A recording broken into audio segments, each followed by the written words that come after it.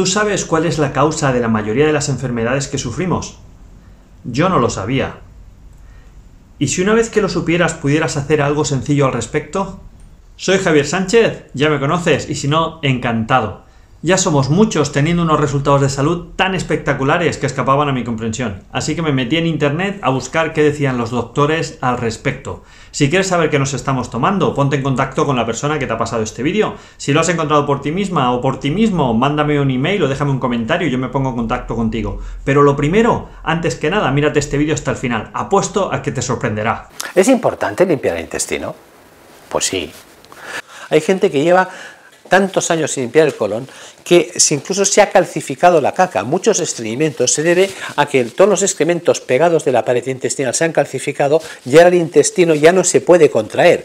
No, está, está rígido. Precisamente para poder expulsar el bolo fecal hay que extraerlo. Fijaros si es importante. ¿Cuál es la función del colon?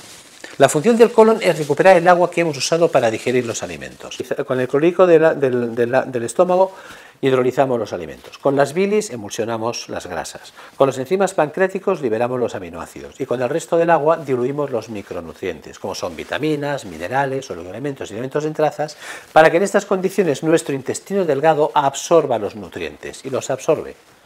Ahora llegamos al colon. Al colon nos llegan 5 litros de agua y restos no nutritivos. Ahora el colon tiene que recuperar el agua. Reabsorbe el agua, deshidrata el bolo fecal y lo saca sólido. Claro, ¿a dónde ha ido el agua? Pues ha ido al terreno vascular, se vuelve al circuito. Ven hemorroidal, vena mesentérica inferior, sistema porta, hígado. Fijaros, todo el agua del colon va al hígado. Claro, si nosotros tenemos las paredes del intestino sucias, porque no las limpiamos nunca, el agua se absorberá atravesando esos restos fecales pegados de la pared. ¿Qué estamos metiendo en sangre? ¿Qué estamos metiendo en los tejidos? Literal, una infusión de aguas fecales. Ojo a lo que ha dicho. Una infusión de aguas fecales. Si uno envía aguas fecales mañana, tarde y noche al hígado, ¿me extrañará en el tiempo tener el hígado sucio? No. ¿Me extrañará si tengo el hígado sucio tener una dificultad para eliminar el colesterol? No. Por tanto, si yo no puedo eliminar el colesterol, me subirá. Ya tengo una hipercolesterolemia por tener el hígado sucio. ¿Me extrañará si tengo el hígado lleno de aguas fecales desarrollar una hepatitis vírica, infecciosa? ¿Me extrañará hacer una cirrosis? Porque un hígado sepultado en excrementos, la célula se puede morir. ¿Me extrañará hacer una enfermedad degenerativa, un hepatocarcinoma? ¿Ves las paredes del colon infiltradas de aguas fecales? ¿Me extrañará tener un colon irritable? ¿Me extrañará tener una colitis ulcerosa? ¿Me extrañará tener un cáncer de colon? ¿Ves la suciedad enferma? Por lo tanto, hay que tener claro que la limpieza es la garantía, la gran garantía de la salud. Por lo tanto, es importante al menos cada dos o tres meses hacer una limpieza de colon. Si nosotros hacemos esta limpieza periódica primavera, verano, otoño, invierno, fijaros cuántas patologías podemos evitar. No es ninguna novedad que el ser humano cada vez a través de su alimentación, a través de los hábitos, a través del estilo de vida, acumula un mayor nivel de toxinas en el organismo. Una enfermedad crónica en tu organismo, que es una enfermedad que va a convivir con vos durante mucho tiempo, desde cáncer, patologías cardiovasculares y un montón de otras enfermedades, están ligadas en general a dos tipos de problemática a nivel celular, que es la acumulación de toxinas por un lado y el déficit nutricional de sustancias esenciales para una actividad determinada por otro. Obviamente la enorme mayoría de toxinas que entran a nuestro organismo entran por vía digestiva comes una comida rica en toxinas, rica en sustancias que vos querrías evitar acumular en tu organismo, eso pasa por vía digestiva, es absorbido en general a nivel de intestino delgado en tu mucosa intestinal. Ahora, supongamos que hay una parte que no es absorbida, va a continuar el tránsito intestinal desde esófago, estómago, intestino delgado intestino grueso, y si no se eliminó por materia fecal, va a ser acumulada en colon. Si yo acumulo toxinas en colon, voy a alterar mi flora bacteriana, voy a lastimar la pared de la mucosa de colon, dando lugar a generar posiblemente enfermedades, como pasa mucho con la proteína animal que empieza a generar putrefacción cuando se acumula. ¿Qué pasa con las toxinas que vos ya absorbiste en tu organismo y que ya pasaron la mucosa intestinal y llegaron a sangre? Esas toxinas normalmente van a tener dos sistemas de filtración muy importantes, que van a ser el sistema de filtración hepático y el sistema de filtración renal. Ahora, la eliminación de toxinas a nivel hepático va a existir solamente después de que haya hecho toda la metabolización de hidratos de carbono, de grasas y de proteínas y le sobre energía y resto a tu hígado para encargarse de esto. Si vos tenés un problema hormonal, porque en el hígado se inicia la producción de un montón de hormonas sexuales, te sirve si vos tenés una acumulación de grasa en tus vísceras, te sirve si vos tenés un problema de balance del colesterol. Hay muchas situaciones en las que va a ser muy positivo hacer una limpieza hepática. Y hacer una limpieza renal es algo que te sirve para eliminar toxinas, es algo que te sirve para mejorar cuando vos tenés retención de líquidos, es algo que te sirve si vos tenés hipertensión para regular correctamente el sodio, es algo que te sirve si tenés diabetes o tenés glucemia en general elevada para nivelar correctamente los valores de glucemia. Por las funciones que tiene el intestino en la limpieza, la detoxificación del organismo y en la asimilación de nutrientes, la salud del intestino podríamos decir que es la salud del organismo. Y además, enfermedades que están alejadas del intestino se ven afectadas por él, de manera que si no mejora la salud intestinal es difícil que mejoren estas enfermedades. Por su desarrollo embriológico, el intestino comparte un origen común con otras estructuras como son la piel, la mucosa respiratoria o la glándula tiroidea y por eso a lo largo de toda la vida mantiene una relación con estas estructuras o estos tejidos. Por eso es tan frecuente encontrar a personas que tienen alteraciones intestinales y además asma y dermatitis, por ejemplo. O es tan común la hiperpermeabilidad intestinal en personas que tienen tiroiditis de Hashimoto. El intestino es la sede principal de la microbiota. Es el alojamiento de la mayor parte de la flora bacteriana que vive con nosotros y que está implicada en tantas funciones vitales, como son el desarrollo embriológico, el desarrollo del sistema inmunológico, la salud de la piel, de las mucosas respiratorias, la salud emocional o mental o incluso el control de peso. Cuando hablamos de un colon sucio o intoxicado, no solo hablamos de un problema que se focaliza ahí, sino que se extiende a todo nuestro cuerpo, que se puede manifestar en alergias, que se puede manifestar también en otro tipo de enfermedades a nivel estomacal, a nivel de piel, mal aliento. Y es que hasta un 90% de las enfermedades pueden estar asociadas a este colon sucio o intoxicado. Y le damos los buenos días al doctor Alonso Vega, médico naturista y cirujano. No podemos pensar únicamente que el que ocupa limpiar el colon es el que está estreñido. Todos ocupamos limpiar el colon y cuando usted entienda el poder curativo de limpiar el colon, va a ver que desaparece el cansancio, el mal aliento, las migrañas, las cefaleas, los trastornos del sueño. Eh, la piel se va a poner muy hermosa. miren, una persona que las uñas no le crecen, que el cabello no tiene brillo, que tiene mal aliento, que tiene la lengua blanca, saburral, Después de mediodía, querido amigo, querido amigo, usted tiene que verse la lengua completamente rosada. Una lengua con blanco saburral es un aparato digestivo que perdió la capacidad de desintoxicarse. ¿Cómo está relacionado estas alergias de piel con el intestino, doctor? Demasiado, porque la piel es la última frontera de nuestro cuerpo. Nosotros tenemos cuatro filtros, y esto es muy importante decirlo.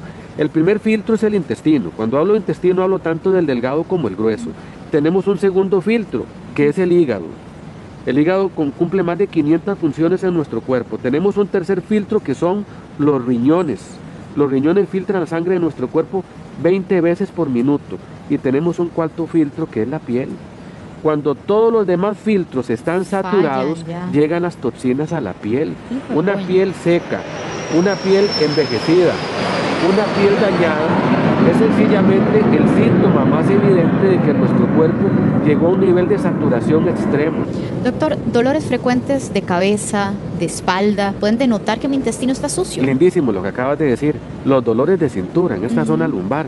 La gente siempre dice, es que tengo un problema en los riñones. No, son los intestinos inflamados que tienen una gran cantidad de nervios. El mesenterio tiene una gran cantidad de nervios y entonces el dolor se va hacia la espalda. Tenemos nervios que vienen directamente de la espalda y tienen que ver con esta acumulación de toxinas. Vamos cargando un saco de tóxicos y eso es lo que yo quiero que sepa. Estamos, queramos o no, intoxicados. Y una limpieza intestinal debe realizarse de manera obligatoria cada seis meses. Toda persona que desee mantenerse saludable, que quiera mantenerse bien, que quiera tener salud, un aliento transparente, limpio, que no requiera de cositas para estarlo disimulando, tiene que pensar en limpiar su colon. Cuando usted limpia el intestino, mejora el apetito, mejora la absorción, mejora la masa muscular, porque usted va a nutrirse de una manera mucho más eficiente. El arte de curar es el arte de limpiar. El problema es que no le hemos dado la importancia al estreñimiento.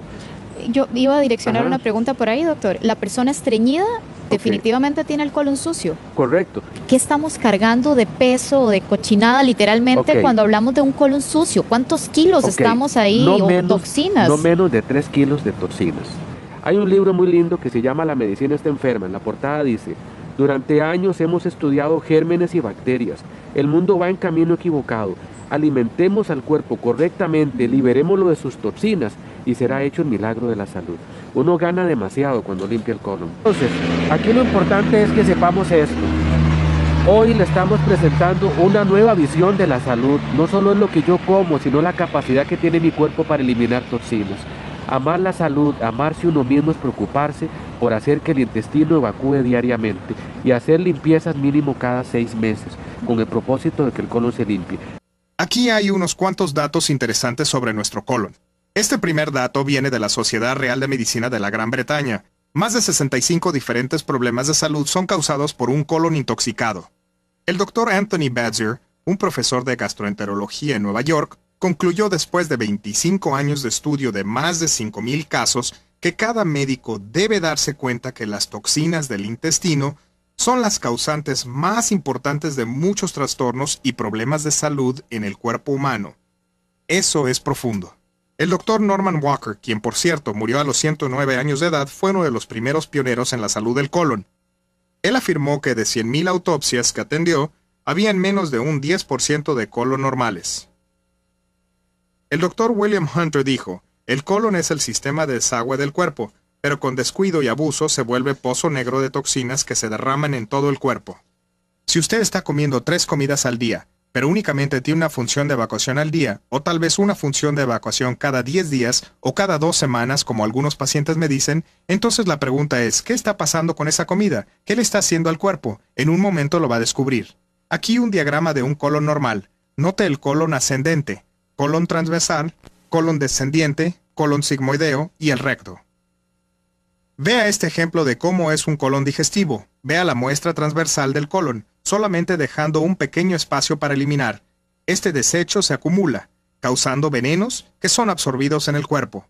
Pasemos un momento hablando sobre un gran problema en este país, y este es el problema de sobrepeso. De acuerdo con el director federal de Sanidad, más del 61% de la población adulta tiene sobrepeso. Eso es horrible. Es trágico.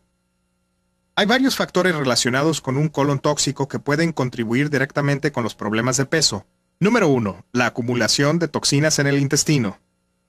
De acuerdo al Dr. Carol Port de Los Ángeles, la desintoxicación y la pérdida de peso permanente van de la mano porque tratan con la causa, no los síntomas. Como dije antes, el colon se expande hasta cinco veces su tamaño normal. Esto se hincha debido al desecho de toxinas que no está siendo eliminado regularmente. Esto conduce a una condición, megacolon. Este es el colon alargado. ¿Sabía que una persona puede acarrear 5 y hasta 75 libras extras de desecho? Esto definitivamente va a contribuir a un problema de sobrepeso. Dr. Jack Larmer, un naturólogo y homeópata, dijo la mayoría de las personas andan caminando con el menos 7 libras de material fecal en su intestino grueso y he visto pacientes que pierden mucho peso y su estómago ya no está tan prominente después de una terapia de colon. Ahora hablemos del siguiente factor que contribuye a los problemas de peso, metabolismo. Los subproductos tóxicos del colon pueden agotar nuestro cuerpo de energía. Cuando esas toxinas entran al cuerpo, hacen lentas las funciones del cuerpo, que a su vez hacen lentos los metabolismos celulares, sobrecargan los órganos y glándulas. Como resultado, un metabolismo lento, no quemamos las calorías, vamos a aumentar de peso. De nuevo, el Dr. Lamer dice, la verdadera importancia de remover el desecho tóxico del sistema digestivo es para detener los subproductos dañinos para que no se reciclen en otras partes del cuerpo, una vez que se ha limpiado el colon, es más probable que el metabolismo funcione como debe, y cuando esto sucede, un mayor obstáculo para aumentar de peso es eliminado. ¿Conoce a alguien que tenga celulitis? Esta es otra horrible consecuencia muchas veces asociada con el exceso de desecho y toxinas. Sí, son toxinas guardadas en una forma normal en la capa de grasa del cuerpo causando celulitis. Todos estos problemas que hemos hablado, aumento de peso y todos los de la lista, son atribuidos a toxinas del sistema digestivo y la autointoxicación. Oigo a pacientes quejarse todo el tiempo de capacidad mental lenta, problemas de memoria. Escuche esto. Los doctores Satterley y Eldridge reportaron que 518 casos de síntomas mentales que incluían pérdida de la concentración y memoria, irritabilidad, falta de confianza, preocupación excesiva y sin razón, depresión y tendencias suicidas estaban relacionadas con síndrome de colon irritable. Esa información es importante. ¿Sabía usted, de acuerdo a la Clínica Mayo, que más de 60 millones de americanos experimentan agrura regularmente? Lo que es increíble es que la agrura, indigestión y hasta los reflejos de acidez son síntomas comunes de un colon tóxico. Sin embargo, seguimos ignorando la verdadera causa. Para entender las consecuencias totales de un síndrome de colon irritable y estreñimiento o autointoxicación, necesitamos entender los principales sistemas de eliminación. Hay cinco vías principales para la eliminación de desechos del cuerpo. La primera vía de eliminación es el colon. Otra condición que puede resultar del síndrome de colon irritable es llamada megacolon. Ahora megacolon es cuando el tamaño del colon se expande hasta cinco veces su tamaño normal. Esto se debe simplemente a un pobre funcionamiento de eliminación, o sea, no eliminar de forma regular. Como consecuencia, el desecho de toxinas se sienta en el colon por días, tal vez hasta semanas. Usted ha visto a esas personas que tienen un gran estómago, piernas delgadas, las mira y se pregunta, ¿qué está pasando ahí? Pues ahora ya sabe. ¿Y qué hay de halitosis, mal aliento? Esa es otra consecuencia de un síndrome de colon irritable. Esto es donde las toxinas se absorben en el cuerpo y se exhalan por medio de los pulmones. Eso nos trae a la siguiente vía de eliminación, la cual es el hígado. El hígado está diseñado para filtrar la sangre. Si el colon se tapa y tenemos este material putrefacto, se tiene que rebalsar en algún lugar. El hígado es el primero en enfrentarlo. Y tenemos ciertos síntomas que pueden resultar de esto. Por ejemplo, dolores de cabeza. Esto es simplemente el cerebro llorando porque no le gusta la sangre tóxica que el hígado nos está filtrando. Poca energía. Usted hasta puede tener problemas de memoria porque si la sangre está toxificada, usted no piensa bien. Menos interés sexual. Problemas de colesterol. El hígado es el principal portero de las grasas de la sangre, y si está congestionado, puede tener problemas para mantener nuestro nivel de colesterol, hasta problemas de articulaciones y de peso, Recuerde, todos estos síntomas son causados por toxinas absorbidas de los intestinos. La siguiente línea de defensa son los riñones. Debido a que el colon, la primera línea de defensa, no está en capacidad de tratarlo, entonces alguien más tiene que encargarse. Así que ahora tenemos a los riñones super recargados. Vamos a tener problemas de los riñones. Las consecuencias pueden ser problemas de presión sanguínea, hasta dolor de la espalda baja. Se puede tener infección de los riñones e infección de la vejiga. ¿Cuál es la siguiente vía de eliminación? Los pulmones. Los pulmones también se pueden involucrar en el proceso para tratar con algunas de estas toxinas. Ya mencionamos el mal aliento. ¿Qué tal asma, alergias, congestión pulmonar, infección pulmonar? Sí, créalo o no, una consecuencia de las toxinas absorbidas por el intestino. Hasta nuestra piel. La piel es uno de los órganos más grandes para la eliminación en el cuerpo. Pero si el colon está tapado y el hígado está tapado, la piel se vuelve una válvula de escape para el hígado y para los riñones. Y entonces vamos a tener problemas de la piel, acné, eczema, psoriasis y más, todo como consecuencia de una pobre función digestiva. Interesante, ¿verdad? Si quieres saber más, ponte en contacto con la persona que te ha pasado este vídeo. Si lo has encontrado por ti mismo, mándame un email. Si quieres ver más vídeos nuestros, aquí tienes el enlace. Si te quieres suscribir al canal para ver todos los vídeos nuevos que sacamos, dale esta carita de aquí. Y nos vemos en el siguiente vídeo. ¡Chao!